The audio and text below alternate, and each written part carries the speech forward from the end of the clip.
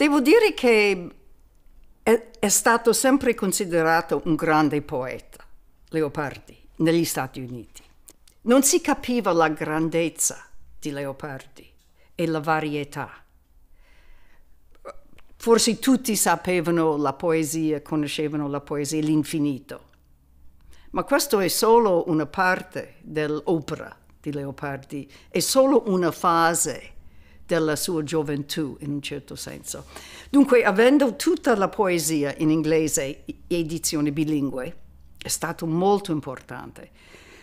Ma la traduzione dello Zibaldone è una cosa, um, come si dice, uh, una pietra miliare, perché il pensiero di Leopardi è così uh, eccezionale.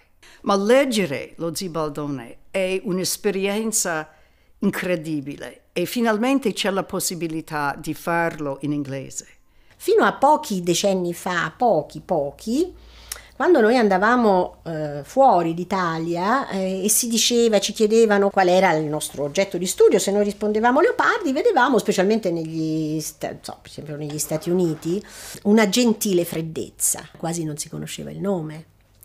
Certamente negli ultimi anni si è fatto un grandissimo lavoro di promozione in questo senso, a cui eh, la traduzione inglese dello Zibaldone ha dato veramente una... è stata una cosa clamorosa, anche questa è un'esplosione, perché finalmente eh, studiosi, e, ma non solo studiosi, insomma, di ogni disciplina si sono potuti rendere conto, leggendo e guardando l'intensità, l'enorme, l'enormità di quest'opera, si sono potuti rendere conto di quali di quanta ampiezza, di quanta complessità e di quanta attualità abbia il pensiero leopardiano. Prima erano stati tradotti canti integrali, una traduzione integrale che è stata pubblicata da una casa editrice importantissima ed è stata inserita dal New York Times tra i primi 100, tra i 100 libri più importanti del mondo.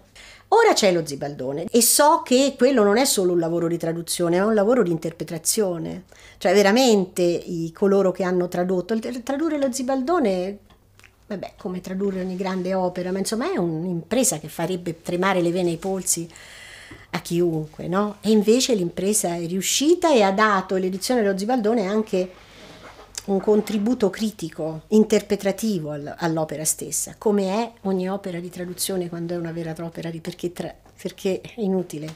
La teoria della traduzione così ampia, così, se, così interessante e sviluppatasi negli ultimi anni, negli ultimi decenni, ci ha dato modo di fare tante riflessioni sull'importanza che tradurre eh, ha per comprendere. No?